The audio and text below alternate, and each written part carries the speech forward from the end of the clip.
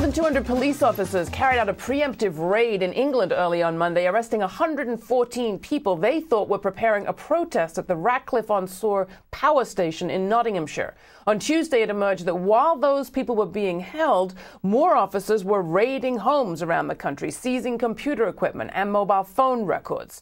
Now, those arrested but not charged have been released on bail, many with onerous conditions, including bans on approaching power stations or taking place in protests. Campaigners are saying it's an attempt to chill major demonstrations that are planned over the summer.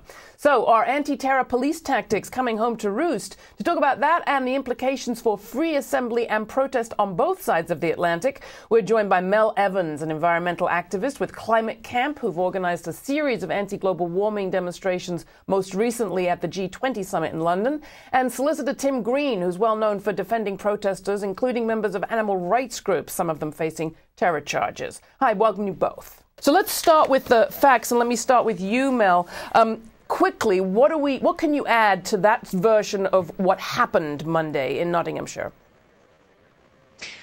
All I know is that simply these people were, you know, sitting together in a room in a circle calmly, and that the police burst in and, you know, arrested them all. They've been released without charge, so currently there is no apparent crime that they're supposed to have committed.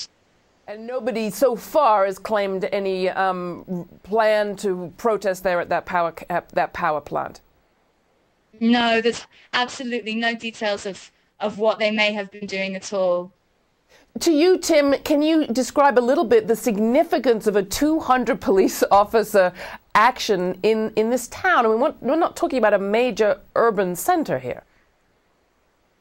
I think that uh, from their point of view, from the police point of view, it makes perfect sense because they just have to occupy 200 police officers for one day, arrest all these people, and their priority then is firstly to gain intelligence through the taking of documents and computers. And secondly, then to get everybody on these very restrictive bail conditions that you mentioned, which effectively stop these 120 people taking part in any protest at all for the next three months even perfectly lawful protests. So, from the police point of view, it makes perfect sense. You, you, you occupy those police officers for one day, but for the rest of the next three months, they uh, don't have to worry about uh, the people that they arrested on Monday. They, uh, uh they, they, they are completely prevented from seeing each other, from talking to each other, from going on protests, lawful or unlawful. So uh, I think that is the priority of the police. Tell us a little bit, Mel, about what um, campaigners like yourselves have been involved in in the last few years, because the police are saying there's a real threat to power plants like this one. I think the concern here is that the police are using tactics to try and quench a growing social movement because, as you say, the past few years in this country, climate activism has been flourishing. People have been taking different kinds of actions, um, sometimes breaking the law and being found innocent in, in court cases consequently.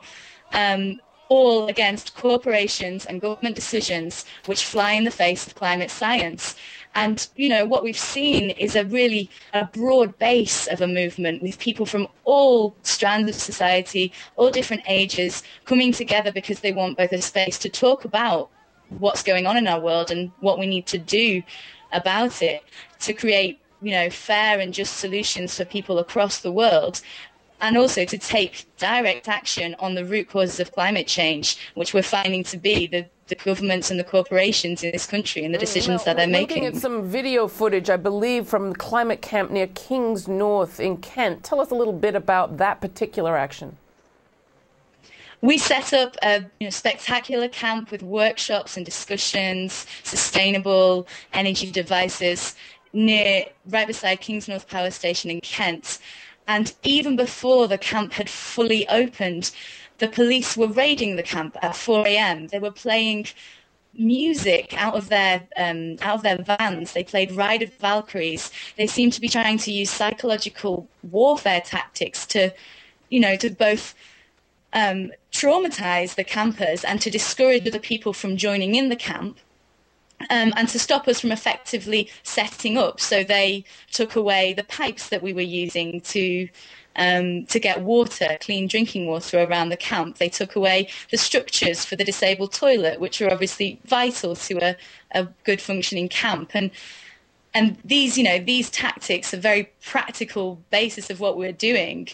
You know, peacefully holding a camp um, seem to be being used, as I say, to quench a growing social movement, mm. and that's why these preemptive policing tactics are so scary. Now, Mel's, I mean, coming come to you, Tim, um, some of the tactics that people are talking about here, we have seen before um, in relation, well, certainly to the Irish community in Northern Ireland, um, to the Muslim population in some circumstances, and you've seen them in the context of animal rights protests. Is there a kind of um, normalization, if you will, uh, of a kind of preemptive police policing strategy that's now coming after the environmental movement. I think that's entirely right. I think they they are moving away from uh, seeing their role. The police are moving away from seeing their role as being to detect and prosecute set crime and then prosecute the crime. They're, they're trying to keep it really away from the court system uh, so that they have as much power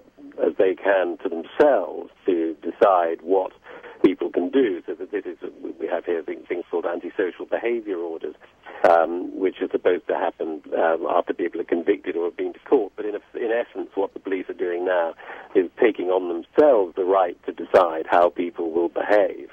Um, and decide how people, who is antisocial and who is not. And by the use of such things as bail conditions in this case, they, in, a, in essence, can stop people from um, doing anything, however lawful, um, that, that, they want to do. Mm. Uh, I, I, have people who've been on bail for with conditions that they don't talk to a long list of people. Um, and they've been on bail with these conditions for two years. I now, Tim, uh, some of these some of these movements are kind of global. Is there any reason to think that the surveillance techni- techniques, some of it very sophisticated, aren't global as well? Is there any reason people here should be afraid? That, that they're allowed to have over people's lives, um, which they want to exercise. I was asking about the connect, international connections. The movements have them. Do the police have them? Oh, absolutely, yes. I mean, the, the, I mean, the, you were talking about the animal rights uh, movement. There's a very close cooperation between the British police and the American authorities, and also within Europe in places like Holland and Sweden. Uh, that, that, that, that is very clear that there is now a huge amount of international cooperation, a swapping of information, um, and obviously a huge amount of covert observation through email uh, and the like. Mel, last word to you. We've got about a minute. What will be the impact of this on, on your plans for this summer's protest? You saw a pretty harsh crackdown at the G20 too. Are people discouraged? I don't think people are because you know we know that this the cause that we're fighting for here is so important and so urgent and we will continue to be creative in finding ways to have a fair future. What have you got planned? We um, we may you know have national gatherings. We have one this weekend to decide by consensus what we plan to do. There is a camp in England at the end of August. One's in Wales and Scotland at the beginning of August. Um, those two near coal sites. The one in England will most likely be near the city of London again because, you know, we're seeing market-based solutions to climate change being offered when actually they're leading us in completely the wrong direction. Mm. So, yeah, Lots we'll find a way. All right, Mel Evans, thanks so much for joining us from Climate Change and Timothy Green, a solicitor from the UK. Thank you both. We're going to keep in touch with this story. Watch it closely. Thanks a lot.